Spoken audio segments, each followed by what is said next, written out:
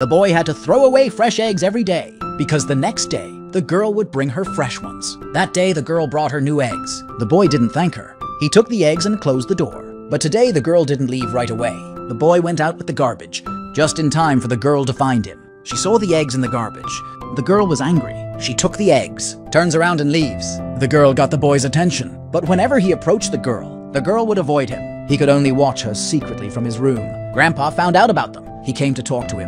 The boy finally found the courage to apologize to the girl. In fact, when the boy first moved here, he noticed the girl in the neighborhood. The girl also played with the boy as a playmate. She grabbed the boy's hand, but the boy was very shy. He ran away behind his mom, but soon the boy transferred to the girl's class. The girl rushed up and hugged him. Because of this scene, the boy was ridiculed by his classmates. So the boy grew up and immediately took the schoolgirl as his girlfriend. But when the schoolgirl realized what he was up to, she slapped him across the face.